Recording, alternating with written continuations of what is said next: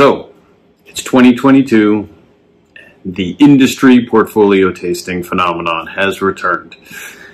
Now, I know it may sound like a lot of fun, but picture a giant room with hundreds of tables, each of which has dozens of wines to taste. If that wasn't overwhelming enough, factor in hundreds of other attendees who you're constantly jockeying for position with in relation to the pour behind the table and the spittoon off on the side. And then you take into account the fact that many of those attendees are not interested in the spittoon at all and are there just to have a good time.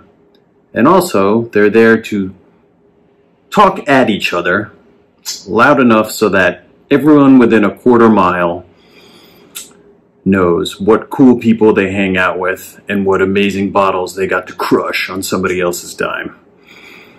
For me, it means I'm trying to get in and out as quickly as possible. Of course, grabbing that free coffee on the way out. But they do serve a purpose. That's why I always end up going to a lot of them.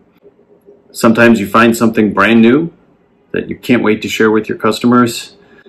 And sometimes you wander over to the table of a beloved producer whose wines you've adored for decades at this point, and you find the perfect wine that you just can't wait to offer out to your customers.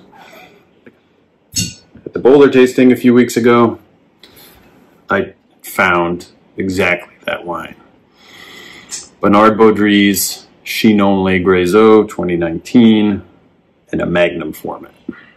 And I was instantly basking in the glow of dark, juicy, mineral, herbaceous, just joyously generous Cabernet Franc from the Loire.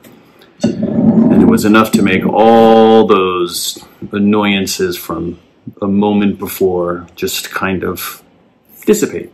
And what's better than that? Well, the Magnum format, which means it's perfect for sharing with your good friends who don't annoy you. Seated around a beautiful meal under a warm sky, some summer evening, I'm telling you. It's a wine like this that makes things like the portfolio tasting totally worth it. A magnum of Chinon.